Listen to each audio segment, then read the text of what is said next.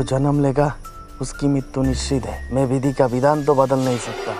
अमरत्व छोड़कर कुछ भी मांग लो मैं तथास्तु तो कह दूँगा। जानता हूँ मैं तुम्हारा राट मैं जगत पिता ब्रह्मा तुम्हें यह वरदान देता हूँ कि न दिन में न रात में न जल में न वायु में न धरती पे न आसमान में न किसी देव न किसी दानव के हाथों से तुम्हें मृत्यु नहीं आई तुम्हें मृत्यु नहीं आई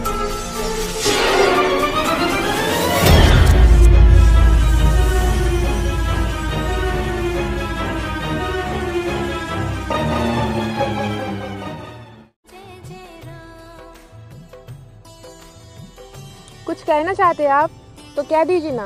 तुम रानी हो जानकी। तुम्हारा जगह महल में है। कहा इस जंगल में मेरे साथ भटक गई हो? ऐसा बड़ी बड़ी बातें ना किसी और से किया कीजिए। हरी अनंत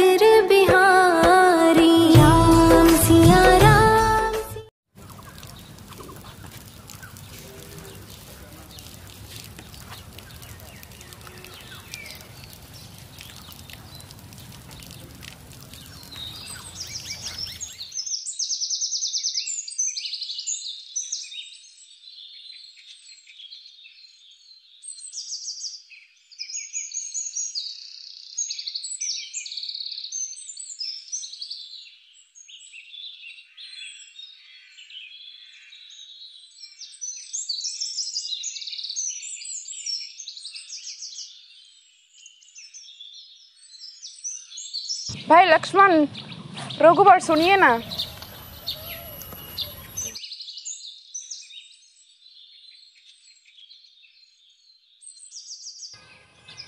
क्या हुआ जानकी? क्या हुआ भाभी? आप दोनों आइए वो देखिए।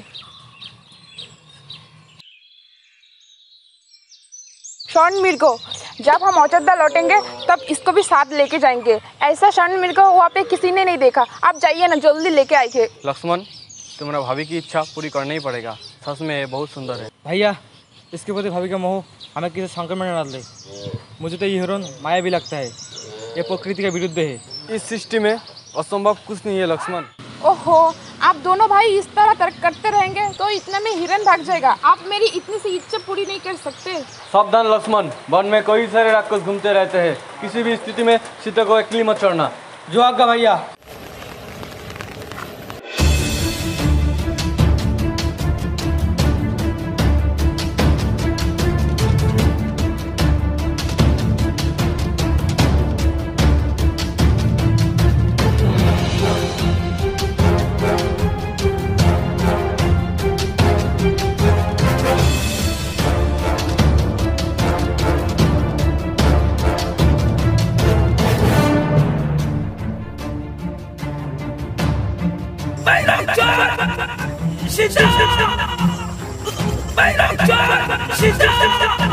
लक्ष्मण सुना तुमने?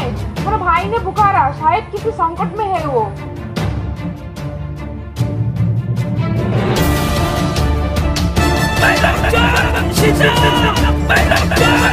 सुना आप तो विश्वास हो गया ना?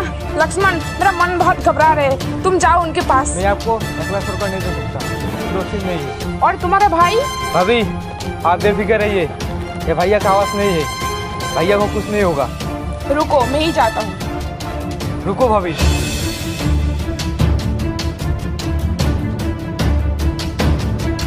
माता गुरु की दी हुई मंत्र शक्ति से मैंने इधर एक अदृश्य द्वार बना दिया। कोई भी अगर इस लक्ष्मण रेखा को पार करके अंदर आने का साहस करेगा तो जलकर भस्म हो जाएगा। इसलिए माता, आपसे एक विनती है, किसी भी परिस्थिति में आपके ये चरण इस रेखा के बाहर ना रखें।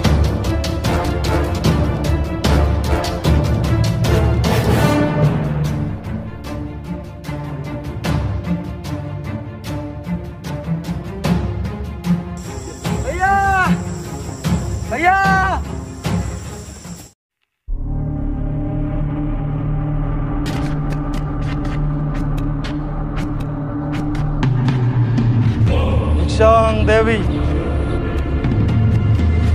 भिक्षांग देवी भिक्षांग देवी। कल्याण हो।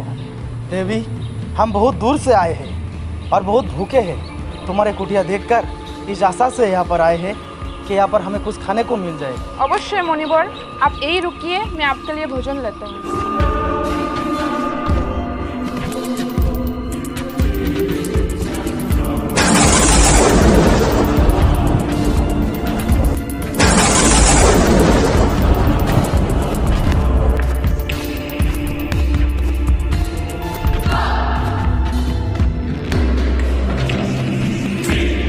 इसलिए माता आपसे है किसी परिस्थिति में आपके ये चरण इस जगह के बाहर ना रखना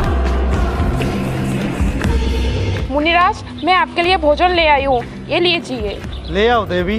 कृपया आपको यह आना होगा। अब तो हमने आसन जमा लिया है देवी। यात्रा से बहुत थके हुए हैं। बार बार उठा नहीं जाता। जो कुछ देना है यही ले आओ। मुनिवर मैं इस समय बाहर नहीं आ सकती। आपको कष्ट करना बस तुम हमें बार बार तिरस्कार कर रहे हो। और अब हमें दूर से खाना दे रहे हो, जैसे हम कोई पशु पक्षी हो। ऐसा व्यवहार सिर्फ़ नीच जाति के लोगों के साथ किया जाता है। कोई संत महात्मा अगर द्वार पर आ जाए तो बड़े ही आदर से उसके पास जाकर उसके चरण छूकर भिक्षा दी जाती है। ठीक है, हम तुम्हारे द्वार से भूखे ही चले जाएँगे, लेकिन इस अपमान के बदले हम तुम्हें साफ़ देंगे। नहीं, आप साफ़ मत दीजिए, मैं वही आ रही हूँ।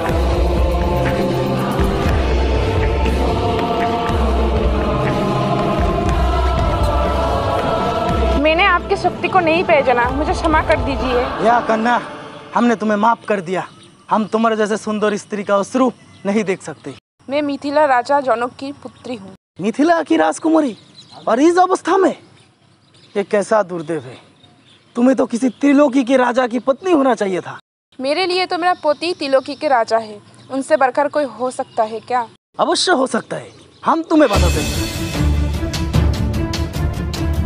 सीता जिसके सामने देवता नाग किन्नर असुर राक्षस अर्थात संसार के संपूर्ण प्राणी थर्रे उठते हैं। तुम तो उसी लंकेश्वर रावण की पत्नी होने के योग्य हो। ऐसे पाप पुण्य वचन कहते हुए मैं लज्जा नहीं आती? कौन हो तुम?